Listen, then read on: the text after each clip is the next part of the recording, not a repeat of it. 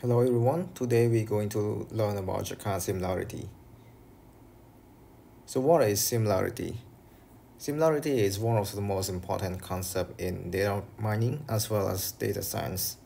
It has very practical applications such as content recommendation as of uh, Netflix movie recommendation and book recommendation and also tech comparison as in uh, plagiarism detection system. And what is Jaccard similarity? Jaccard similarity is one of the similarity metric that compare how uh, similar two sets are. Uh, this is the uh, formula of Jaccard similarity.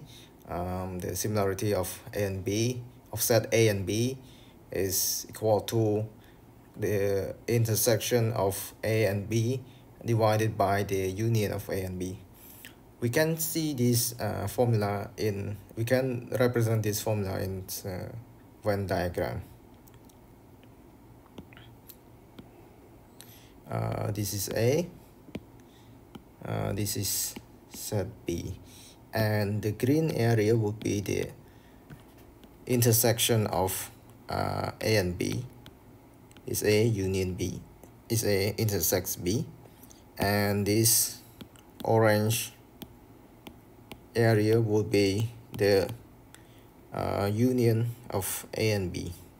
Say union B. So we can also rewrite this formula in a more uh, simplified way. Um, let's denote X is the all the element that exist in both set A and B. So in both a and B. In other words, X is the intersection of A and B, or the green, green area. And Y is the element that exists in A but not in B. In A but not in B. So uh, this is this is y from here to here is y. This is uh, this is x. And lastly z is the element that exists in b but not in a. So from here to here is uh, z. So so if we uh, so we can rewrite the Jaccard formula, Jaccard similarity formula into uh, Jaccard of A and B is equal to uh, X exists in both A and B, meaning the intersection uh, divided by X plus uh, Y, which means exists in A but not B, plus Z exists in B but not A. So if you if we look at uh, this new formula, X is A uh, is the intersection of A and B, which is the same as this one, and uh, below X is this area again, and Y is this area, and Z is this area, which means that X plus y plus z is actually equal to the whole uh, thing which is in other words a unit b. So this formula is actually uh, the same as this one. Uh, this one is a bit more simpler and easy to uh, use for, for calculation. Um, and also keep in mind that the value of Jaccard similarity lie between 0 and 1 uh, the higher the value uh, indicate the the the more the more the higher the similarity. For example one mean um, like or or very similar. And uh, zero means uh, different and it's uh, this is a the small value. Is continuous value. So it, there's a decimal point that fall behind uh, fall between 0 and 1 could be 0 0.5 0 0.6 0 0.77 and so on. Uh, so this is the formula of Jaccard similarity. So now let's look at the example. So this is the example. First uh, the first example is to uh, compare the similarity between two sets so given set A and B and then C and D later. So let's compare uh, how similar A to B. First of all, uh, we can recall the formula. The formula of Jaccard similarity is actually J of A and B is equal to X plus Y plus Z, knowing that X is intersection, Y is those that exist in A but not in B and Z is what exists in B but not in A. Now let first of all let's find X the intersection. Um, 1, 3, 7, 9 and 11. So from here we have uh, five elements that uh, exist in both A and B. So we write 5 over 5 plus uh, here exists in A but not in B, A. So only 1 plus uh, here exists in B but not in A. Uh, then another one. So um, the Jaccard similarity of this uh, A and B is equal to uh, 5 divided by uh, 7 or roughly um, 0 0.71. I'm not sure we have to check the calculation later. Um, now let's look at another example. Uh, again, so let's find the intersection uh, C with C and D, um, 3, 7, 8, 9, 11, 2, 5, 6, uh, 10, and 13. Actually, these two uh, set has no intersection at all. And then we can uh, again check out similarity of C and D. Is x equal to x plus y plus z but then there's no intersection so which means x is equal to 0 and the whole uh, since x is equal to 0 the whole uh, fraction is equal to 0 and uh, which indicate that these two set C and D has no similarity or in other words uh, it completely different. So now let's look at another example. Uh, this is, in this example is a little bit different. Uh, this table is a small uh, mini animal data set. It has nine attribute each attribute uh, is binary uh, value so uh, which means that the, the value of the attribute is 0 and 1 and 0 indicate that uh, it's not applicable or it's not uh, exist. For uh, for example um, the first attribute here uh, zero means the the animal actually has hair and sorry one mean animal has hair. For example buffalo has hair and zero means uh, no hair. Um, for example chicken has zero value in the attribute here so indicate that chicken doesn't have hair and this whole table is called uh, sorry the whole uh, the concept of this attribute is called asymmetric binary attribute. Um, asymmetric binary attribute means that uh, the all the binary attribute that uh, one has more important or one is significant than uh, zero. So the value one is more significant than zero. It in this case it indicate the, that the animal has certain feature.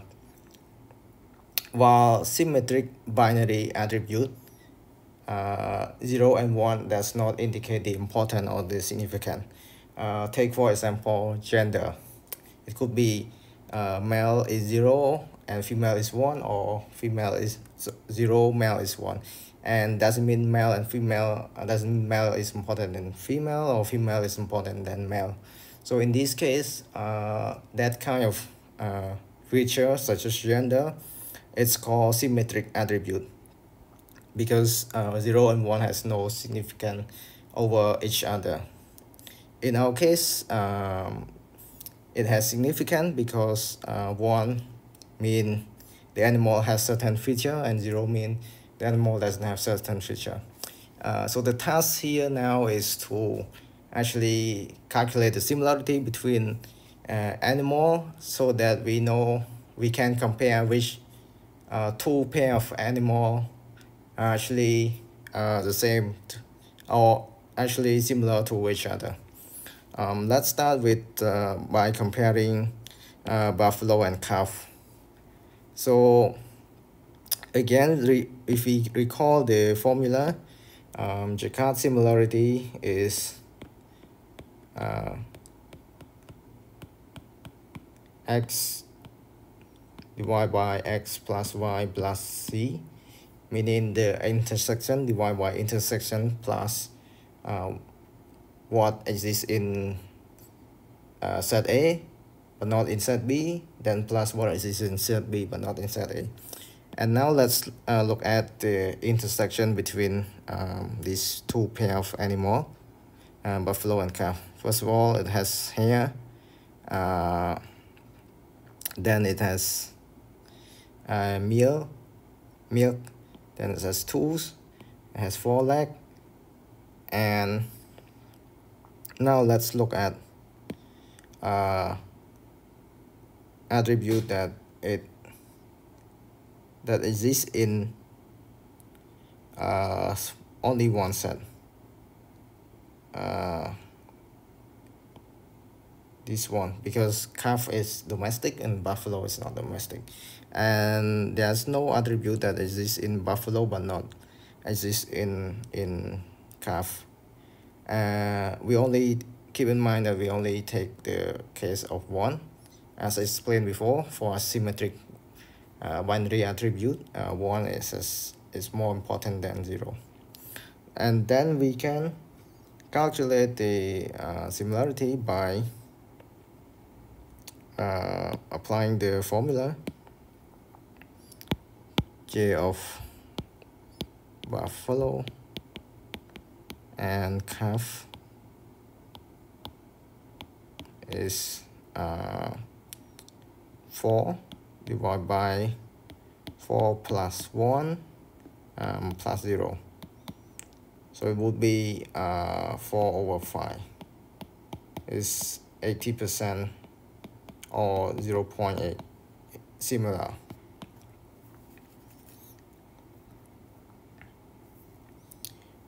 Then let's look at another pair uh, calf and chicken uh, then first step is to find the uh, intersection. So meaning that uh, the attribute that uh, both have a value of 1 in this case is domestic. So both both animal are domestic animal. Uh, now and then let's point attribute that exists in calf but not in chicken so calf have four legs has tooth uh, has milk but uh, chicken doesn't have that. Then find what has chicken has but calf doesn't have. Uh, chicken has feather has eggs is airborne and has two legs uh, then we can arrive at the similarity uh, calf and chicken. Intersection is 1 divided by uh, 1 plus. So blue is 4 and purple is uh, 4 as well. Would be 1 over 9 uh, which is uh, roughly 0 0.1 or less than 0 0.1 but uh, for the sake of simplicity let's put it 0 0.1 uh, so compared to 0 0.8 previously uh, we know that uh, calf and chicken are not so similar. Hence the similarity is only 0 0.1 uh, let's see another pair uh, now let's do chicken and ostrich. Uh, find the intersection. Uh, three feature has intersection. Then find that is in one but not another. Um, that's all. We can uh, ignore the zero. And then compute the Jaccard similarity. J of chicken and ostrich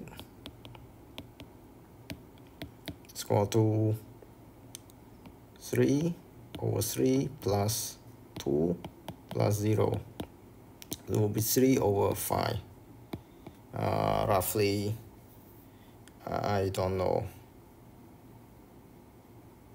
I know that is more than 0 0.1 so which means that chicken and ostrich is actually more similar. Chicken is more similar to ostrich than it is similar to calf. And calf is similar to buffalo than it is uh, similar to chicken.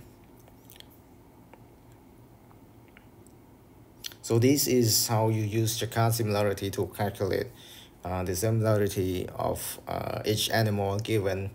The data set is asymmetric binary attribute.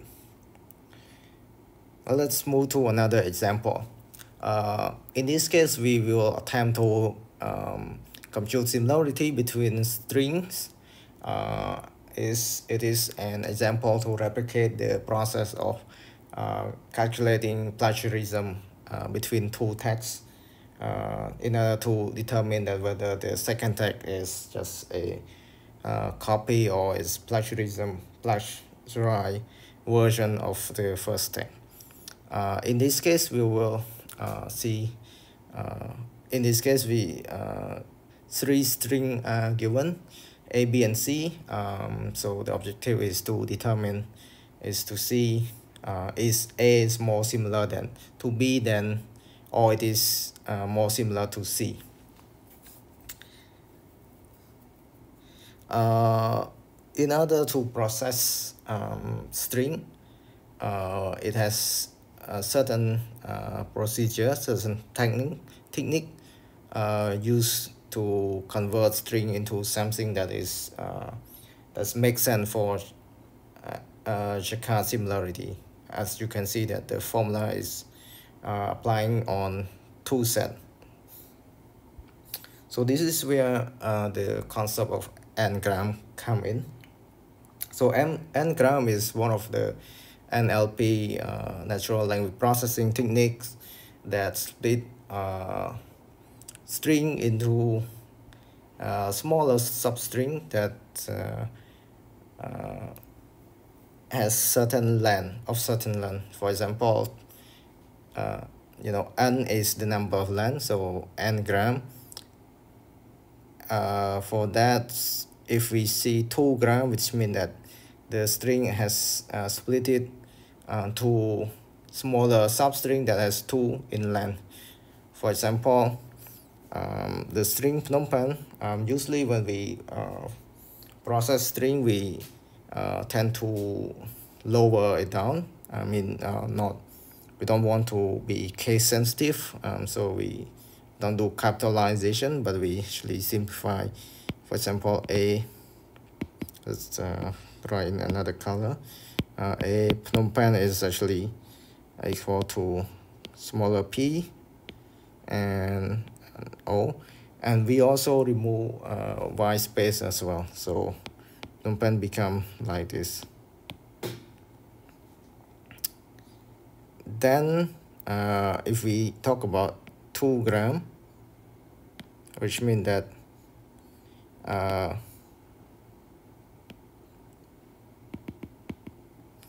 which means that the smaller substring is has uh, length of 2 then it become uh, a set that has ph then we split by 2 and o mp en and h. So this is the n-gram version of the string a. You can do the same with string b uh, or c. So for c uh, it would be parents it would be p a then o i then s. Okay here is the uh, same thing but I written it in a clearer way. So convert we convert set a into we convert string a b and c into sets which uh, the element are uh, n-gram so now let's uh, compare string A and B using Jaccard similarity. Uh, as you know, as we've seen before that uh, for Jaccard similarity, we uh, find the intersection, we find each, then we find the element that is in one but not another, and then we can compute the similarity. For example, if I want to compute similarity between A and B, so we'll find start with the intersection. Um, this is different. This is the same. This is same. So 4 over 4 plus 1 plus 1 so each set has the one element that is not exist does not exist in other. So it will be 4 over 6 it will be 0.8 similar. So these two a and b is 0.8 similar. And then uh, let's do for uh, a and c. So we want to compare whether a is closer to b or a is closer to c.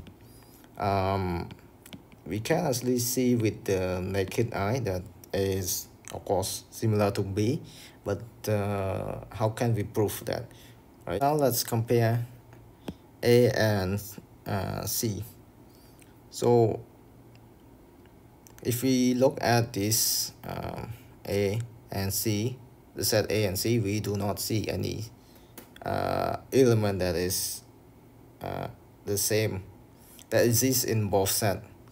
So very easily straightforward, we can say that Jaccard of A and C is equal to 0 over 0 plus the element in A.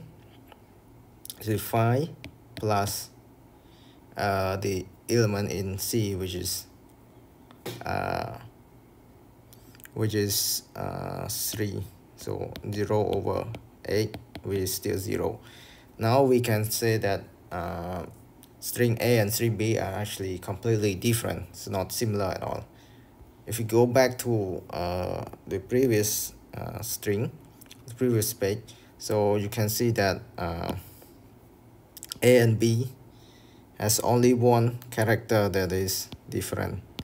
So in A Phnom Penh uh, with written with uh, the letter O and in B Phnom Penh is written with uh, letter U instead.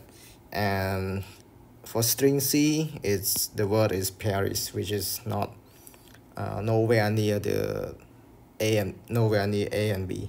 And uh, this is a real application um, uh, what we call naming convention. Uh, Phnom Penh is actually the name of the city and often the name is written uh, in quite a different way uh, depend on the people and uh, it's very difficult to uh, if you do actually um, you know use SQL and so on uh, sometimes it's difficult to join uh, two dataset because the name is now spelled in different way. So with this similarity concept we can um, calculate the similarity between two string. And in a way we can fix this problem by um, knowing that these two strings are similar and we choose the one only one version and we can convert the other one to the, the standard one. In this case, we can map A and B quite easily. So um, that's all for the example. Um, in this video, uh, I hope you learn uh, about Jaccard similarity and similarity concept in general. It's very uh, powerful. It, uh, it's important in data mining and data science. And we have seen three examples, start with the set comparison and then asymmetric uh, binary attribute. And last but not least, the third example is string comparison. Uh, that's all for this video. Uh, take care.